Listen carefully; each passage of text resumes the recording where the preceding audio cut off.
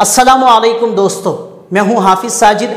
आप देख रहे हैं परफेक्ट इस्लाम चैनल आज की ये वीडियो बहुत ही अलग थलग और बहुत ही इंटरेस्टिंग वीडियो है।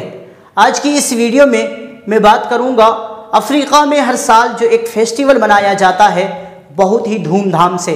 जिस तरीके से आप देख सकते हैं कि सूखी घास के ज़रिए से मुख्तलिफ़ किस्म की ड्रेसेस तैयार की जाती है और ये लोग दावा करते हैं कि इन घास नुमा ड्रेसेस के अंदर कोई इंसान मौजूद नहीं होता, किसी इंसान को छुपाकर बिठाया नहीं जाता। बल्कि इन खाली कौनस के अंदर, बेजान कौनस के अंदर, इनकी आबा अजदाद की रूहें, इनकी रिश्तेदारों की रूहें, इनके अंदर दाखिल होकर इसी तरीके से परफॉर्म करते हैं डांस करते हैं, या फिर ये लोग जिस खुदा की पूजा करते हैं, जंग बेटो खुदा की, वो यहाँ पर मौजूद होते हैं और इन खाली कौनस के अंदर दाखिल होकर इसी तरीके से परफॉर्म करते हैं डांस करते हैं, इनकी दुआओं को सुनते हैं इवन के इनसे बात भी करते हैं। और इन लोगों का मानना है कि ये जंग बेटों की रूहें मुहाफ़ों का काम करती है, यानी हिफाजत करने का काम करती है, रात दिन इन लोगों की हिफाजत करते रहते हैं, यानी एक सुपरमैन की तरह। कहीं पर भी कुछ भी प्रॉब्लम्स हो, कुछ भी परेशानी हो तो ये जंग बेटों की रोहें फ़ौर वहाँ पर हाजिर हो जाते हैं और इन लोगों की परेशानियों को दूर कर देते हैं, इन लोगों की प्रॉब्लम्स को दूर कर देते हैं। यहाँ के लोग ये फेस्टिवल हर साल मनाते हैं जिसको वोडू भी कहा जाता है, या फिर जंग बेटो भी कहा जाता है, ये बहुत ही मशहूर फेस्टिवल है। इस फेस्टिवल में कुछ ख़ास किस्म की कौन हम देखते हैं, जो सूखी हुई घास के ज़रिए से एक ख़ास किस्म का ड्रेसेस तैयार किया जाता है, जो बहुत ही मुख्तलिफ़ तरीके से परफॉर्म कर सके। असल में ये लोग जोंगा बेटो खुदा की पूजा जो करते हैं, और इन लोगों का मानना है कि इस फेस्टिवल में जोंगा बेटो उनकी आबा अजदाद की रोहें यानी कि इनके मरे हुए रिश्तेदारों की रोहें इस फेस्टिवल में जमा करवाता है। और ये लोग जिन देवी देवताओं को पूजते हैं, वो यहाँ पर इस फेस्टिवल पे आते हैं और आकर इसी तरीके से परफॉर्म करते हैं, यानी डांस करते हैं, इनके अंदर घुस के। और फिर इनकी परेशानियों को भी दूर करते हैं, इनके प्रॉब्लम्स को दूर करते हैं इवन के इनकी दुआओं को सुनते हैं। फेस्टिवल के ख़त्म होने पर आप देखेंगे कि ये जोंगा बेटो जो इन कॉन्स के अंदर डांस कर रहे होते हैं, वो अचानक से रुक जाते हैं और रुक कर लाइन लगाकर खड़े हो जाते हैं लोगों के सामने और वो मकामी ज़बान में माइंडर के ज़रिए से अपना पैगाम पहुँचाने के लिए घूमना बंद कर देते हैं, जिनकी ये पूजा करते हैं। उन देवताओं की तरफ़ से इन लोगों पर वही की शक्ल में नाजिल होती रहती है। मसलन उनके बड़े लोगों को जिन चीज़ों से ज़्यादा नुकसान होने लगता है तो उन देवी देवताओं की तरफ़ से उन चीज़ों को हराम कर दिया जाता है। और मकामी लोगों का कहना है कि लिबास के अंदर कोई इंसान मौजूद नहीं होता, बल्कि रात के चौकीदारों की रूहें होती हैं, जो इनके लिए हिफाजत का काम करते हैं। जंग बेटो, रिवायती मगरबी अफ्रीकी वोडू हैं और बेनिन में रात के मुहाफ़ भी हैं। हिफाजत करने वाले माजी में जंग बेटो गाँव के पुलिस अहलकार थे और लोगों के अमन अमान को बरकरार रखने में मदद करते थे।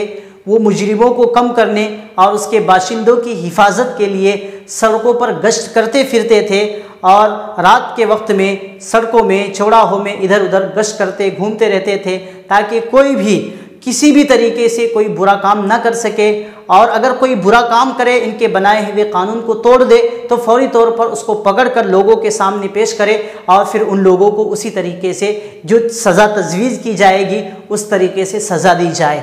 ये लोग जंगा बेटो खुदा की पूजा भी करते हैं और उनको सजदा भी करते हैं और उनके नाम पे कुर्बानी भी करते हैं। सोशल मीडिया पर ऐसी वीडियोस काफ़ी सारे मौजूद है जो काफ़ी मिस्टीरियस है। यकीनन आप में से बहुत सारे लोगों ने ऐसी वीडियोस देखे होंगे। इन वीडियोस में देखा जा सकता है कि इन कौंस में डांस करती ही हुई वो रोहें उस वक्त गायब हो जाती है जब उन कौंस को ऊपर उठाया जाता है, उनके अंदर कोई मौजूद नहीं होता। लेकिन सवाल यह है, क्या ऐसा वाकई ही मुमकिन है? क्या ये सच है? जो इन लोगों का मानना है, ये लोग जो इन वीडियोस में दिखाते हैं या फिर ये नज़र का धोखा है जिस तरीके से हज़ारों सालों से मज़हब के नाम पर लोगों को बेवकूफ़ बनाने का काम किया जाता है और लोगों की जहालत का फ़ायदा उठाकर और पेट पालने का काम किया जाता है। आज की इस वीडियो में सबूतों के साथ इन काला जादू और रूहों की हकीकत को जानेंगे। इस वीडियो के आखिर तक आपको सब कुछ समझ में आ जाएगा कि ये सब कुछ सच है, या फिर लोगों की जहालत का फ़ायदा उठाकर लोगों को गुमराह करने की कोशिश की जा रही है। आप ज़रा सोचें कि खाली कौन हो जो डांस कर सकती हो और लोगों से बात करके अपना हुक्म सुना सकती हो। जिस तरीके से नबी के पास फरिश्ते वही लेकर आते थे, इसी तरीके से ये खाली कौन लोगों को अपना पैगाम पहुँचाने का काम करती हो, या फिर रात के टाइम पे ये खाली कौन उन लोगों की हिफाजत के लिए वो पुलिस फोर्स के तौर पर काम करती हो और लोग उनको सजदा करते हो और नाइट गार्ड्स कहकर उनकी इबादत करते हो। जी हाँ ये कोई फर्जी कहानी नहीं है, बल्कि ये अफ्रीका के कोनेंट में, अफ्रीका के वेस्ट मुल्क घाना, बेनिन टोगो और नाइजेरिया के एक ख़ास किस्म के मज़हब के मानने वाले लोग मौजूद हैं, जो जोंगा बेटो खुदा की इबादत करते हैं, जो हर साल इन फेस्टिवल में इनकी नजरानों और क़ुरबानियों को कबूल करके इनसे खुश होकर इनके तमाम मरे हुए रिश्तेदारों की रूहों को जमा करता है और उन लोगों से मुलाकात करवाता है। और ये लोग उन रूहों को तोहफे भी देता है, मसलन छोटे जानवर, मुर्गे, बकरे या फिर कैंडीज़ वगैरह देते हैं। दोस्तों, आँखों का देखा हुआ हर चीज़ सही नहीं होता अगर मैं आसान अल्फाज में इन लोगों की हकीकत बताना चाहूँ तो इसका जवाब हाँ भी हो सकता है और ना भी। क्योंकि बताते हुए कुछ लोगों को यकीन भी नहीं होगा जब तक के सबूतों के ज़रिए से बात न की जाए। और आपको ये चीज़ मानना पड़ेगा कि अगर काला जादू अपनी असली हालत पर मौजूद है तो वो अफ्रीका में सबसे ज़्यादा ज़ोर शोर पर है। सबसे पहले जादू की हकीकत हमें समझना पड़ेगा कि काला जादू का मतलब जिन्नात शयातीन से मदद तलब करना जिन्नात शयातीन से मदद तलब करने का मतलब है जिन्नात शयातीन से एग्रीमेंट करना, उनके बताए हुए हर बात पर अमल करना। इसीलिए कहा जाता है कि अगर कोई मुसलमान काला जादू करता है तो वो काफिर हो जाता है। वो इस्लाम से निकल जाता है, क्योंकि जिन्ना तो शयातीन की इबादत करने का मतलब है कि वो इस्लाम से खारिज हो गया। जिन्नात शयातीन इस चीज़ पर खुश होते हैं और उन लोगों को तकलीफ़ पहुँचाने के साथ साथ जिन्नात शयातीन हर वो गरीज काम करते हैं, जो भी उन लोगों की ख्वाहिश के मुताबिक होती है और यही जादू कभी कभी उन लोगों की मौत का सबब भी बन जाता है। उन लोगों की हर वो ख्वाहिश पूरा करने की कोशिश करते हैं, जहाँ तक बात है इन फेस्टिवलों में काला जादू का दखल है तो ये नहीं हो सकता क्योंकि जिन्नात शयातीन खुलेआम लोगों की नज़रों के सामने सरकश नहीं करते और ना ही वो लोगों की नज़रों में आना चाहते हैं, वो लोगों की नज़रों से पोशीदा है। यहाँ तक बात है कि इन कौनस के अंदर दाखिल होकर परफॉर्म करने की तो ये भी नहीं हो सकता। क्योंकि जिन्नात तो शयातीन खुलेआम लोगों की नज़रों में आना ही नहीं चाहते। और इन कौनस के अंदर दाखिल होकर इस तरीके से हरकत करना मतलब गोया के अपने आप को ज़ाहिर करना ही है तो वो इस तरीके से डांस भी नहीं कर सकते और अपने आप को ज़ाहिर भी नहीं कर सकते। ये भी उन लोगों के सामने अपने आप को ज़ाहिर करने जैसा ही हुआ डांस करना मतलब। जादू नहीं होगा। जब आप इन वीडियोस को देखेंगे तो आपको भी हैरानी होगी कि ये कैसे मुमकिन है कि इसी बेजान चीज़ के अंदर अचानक से जान आ जाए और इस तरीके से हरकत करने लगे, डांस करने लगे और लोगों से बात करने लगे। ये चीज़ तो कुदरत के कानून के ख़िलाफ़ भी है और साइंस के ख़िलाफ़ भी है। तो आप इन वीडियोस को देखकर जादवी वीडियो भी नहीं कह सकते। हाँ आप इन वीडियोस को सरकश कह सकते हैं। जिस तरीके से ये लोग दावा करते हैं कि इनके आबा अजदाद की रोहें या फिर जोंगा बेटों की रोहें बेजान कौन के अंदर आ जाती है, आप इसको जादू नहीं कह सकते, बल्कि सरकश कह सकते हैं। ये लोग ट्रिक करके और कई महीनों के ट्रेनिंग से आपके दिमाग के साथ खेलते हैं।